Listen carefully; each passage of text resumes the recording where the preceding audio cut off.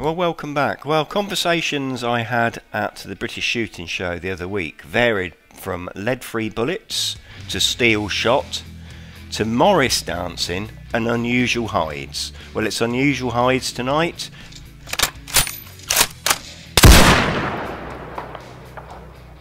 And who better to introduce the video than the man whose idea it was? So, during a very nice chat with fellow YouTuber David at the British Shooting Show, I suggested he made more of his ingenious way of getting closer to his squirrels. Here's the film. Well, welcome to a very beautiful yet cold sunny morning here in the Manor House Gardens. Uh, and I'm alongside the hide that I've used several times now and it's known as the Binerminator hide and the reason for this video is following a long conversation I had with David Wright from Fieldsports Britain last Sunday at the shooting show. Um, he's seen this on one of my videos and he asked had, had I ever done a video on how I built it. Well I haven't, I just sort of covered it briefly and he said you must do a video uh, all about the bin, how I got it and uh, how I converted it to a shooting hide. So uh, David, thanks very much for your suggestion. I'm going to take you up on it. After all, you're, you're the expert, you know what goes well. So this is it. This is the Binerminator. I got this from a local uh, refuse company. Um, got it in the November and it cost me a £20 donation for their Poppy Appeal Fund. Uh, what first brought me uh, to get something like this is I did some shooting on an industrial estate where there was already some of these there being used for, for bins um, and I wanted to be able to go there shooting rats and squirrels and not really sort of stand out by leaving a hide there for sort of two or three days. So um, I racked my brains for a while. It wasn't suitable to go there in a car. Uh, and this this I came came there one morning and watched one of the lorries emptying these and I thought well that'd be a, a good idea. They move around on wheels. It's a brilliant hide. Obviously you can position it where you want to position it, um, which is obviously in this garden. I can move it around uh, different parts of the garden. Um, that's one really good uh, aspect with this. I know if you go to the, the, the problem that the time to build a squirrel shooting hide or a rat shooting hide, that's it. Where you've put it, that's where it's going to stay you haven't got the problem with this. Um, it's relatively light. Two people can pick this up and put it in the back of a truck.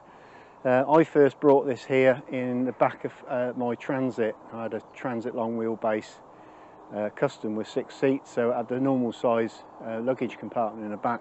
This used to fit in that no problem at all and I could load it on my own. Um, it will also go in the back of the Isuzu truck that I've got now. Um, two people pick it up, just, just drop it straight in, no problem at all, lash it down. So that's it really. Um, from the outside it just looks like a normal uh, wheelie bin. Obviously for those people that are more familiar with them I've taken off a lot of the mechanics off of the side of it. There was obviously this lid when it opens that way it's spring loaded so I've taken off one of the hinges there and there was also lots of metal work um, with attached springs just to make sure that lid shut down properly. So really from, from a sort of a, a long distance view it doesn't look any different to another, another sort of wheelie bin um, which again is, is brilliant. Uh, here in the manor house garden it normally sits underneath a beech tree in the corner of a hedge. Um, it's, it's not um, in the way for the guests when they come here and sitting out on the patio they don't see it that's why it's got a bit of camo on there but that's the only reason for that. Um, as I said before in the winter it's nice and warm in there it's obviously dry and with the domed roof when you're sat in there there's plenty of room um, obviously head height in there even with a hat on. They do them now with a flat flat bin on flat uh, lid on the top which obviously reduces your head height. So I'll open the sides up and you can see then what we've done but shooting wise all the shooting's done from this hatch in the front. Obviously that comes out. It's got two little twist locks on there. That comes out and then access to the inside of the bin is through the side door there. So the hinge is a top top hinge which is like a piano hinge, stainless steel, uh, that's screwed on the top there and down the side here we used to call them budget locks um, in the workshop where I used to work but it's a sort of um, little flat locks that you see on the side of the luggage compartments on a coach. Just use a normal T key to open those up. See that one twists that way. This one will twist the opposite direction, opens up. Now I always use a piece of wood here that Sir Adams left around from this garden. So access in is, there we go, you can see there's a piece of wood there which is off a bit of a, when I had some building done at home, so that was one of the joists. And on the sides, both sides, is another joist that I've cut a slot out and that allows that wood to sit in there and then you can obviously slide slide the position of that wood. So I'll get on the inside then, do some filming from the inside um, so you can see a bit better, but bring you up closer now so you can see what I mean about this, this uh, wooden bench seat there.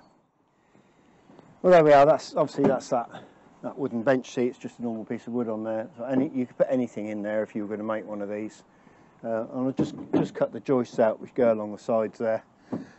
And that just once you're in there, that's obviously your reclining seat if you like. You can, you can sit there, you can lay back a bit further, obviously your knees go up underneath the table that I've made, uh, or you can move it right back and stay sat, sat upright.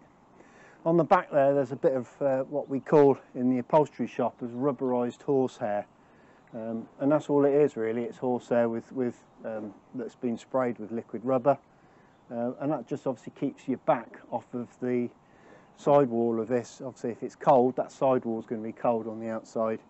Um, keep your weight, get a, a, thermal support between you and that cold wall. Um, obviously going to make it more comfortable for you. As I said before, once you start getting cold, you'll lose interest in what you're doing um, and it won't be long before you pack up and go home. So make yourself as comfortable as possible at all times. So I'll just demonstrate how an old bloke gets in the Binerminator. Obviously kit wise normally I'd have a rucksack and a rifle so the rucksack would go straight in first of all, the rifle I would put down there. And it's just a case of getting in. And there we go, that's as simple as that. Get settled in here, make sure everything's secured, pick the rifle up, bring it in and off you go. Now remember I said that um, having this seat on uh, sliders so you can actually sort of turn it into a reclining seat. Uh, all you do with that is take the weight off of it, slide it forwards, watch forward and you can have a nice lay down and also by laying down that obviously gives you a bit more view um, it elevates the view you can see in front of you obviously for squirrel shooting uh, they're, they're always, most of the time they'll come from the treetops. You get the occasional visitor that comes along the ground level, but uh, they're always going to go to the nut feeder. So that's, that's the, the golden egg with that one. Uh, and that's, that's as simple as it is. I say it's a bit of an act to get in and out of. I've learnt how to do it over the years. I've had this. Um, uh, I wouldn't be without it. It's, it's a brilliant portable um, piece of kit. Um, it's not, not obtrusive to gardens or, or industrial estates wherever you put it. So um, it served me well. Um, and had some brilliant results from it. I'm just going to put my seat back back up. Put your seat back up for landing. Out we go. Simple as that. Right, well I've got in in the bin now, um, and as you can see, I did feature um, very briefly on a previous video. I've made a nice solid support here, which is hinged. Um, there's just an Allen bolt in the top there. I'll keep the Allen key there on a magnet so I can undo that, take the support out, drop that table down if I want to. But being left-handed, it's obviously it's on the left side of my body, so it's ideal for me shooting, and it gives me a good um, solid rest so I can get a nice arc of fire across across the garden if I need to. And as I said once before, um, it's, it's obviously on wheels so you can move it around.